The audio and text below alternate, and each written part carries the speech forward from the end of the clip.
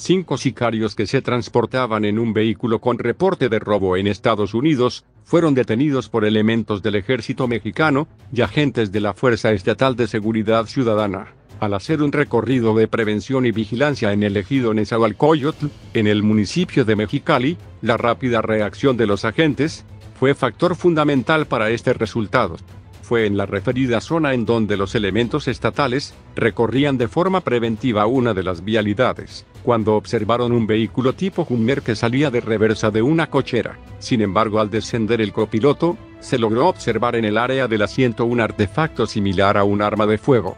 En el vehículo también se encontraron tres radios de comunicación. En lo que respecta al vehículo Hummer 2006, de acuerdo a la base de datos vía C4, cuenta con reporte por robo en Estados Unidos activo el pasado mes de junio del año en curso. Los cinco detenidos fueron puestos a disposición de la autoridad competente en determinar su situación legal, al igual que lo antes mencionado como asegurado.